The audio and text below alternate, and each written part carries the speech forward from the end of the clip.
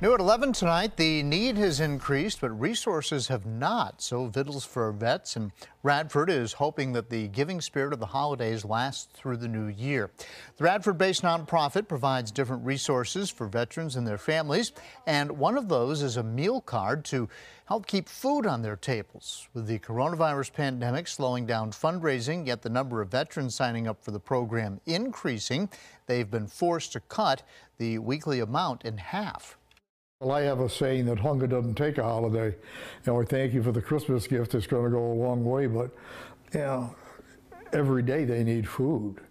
So, you know, we hope that we don't get forgotten from, um, you know, January through November. If you or someone you know is a veteran in need, you can sign up for the program by visiting the website. You can also help them out with much needed, needed donations as well, and we do have a link at WSLS.com.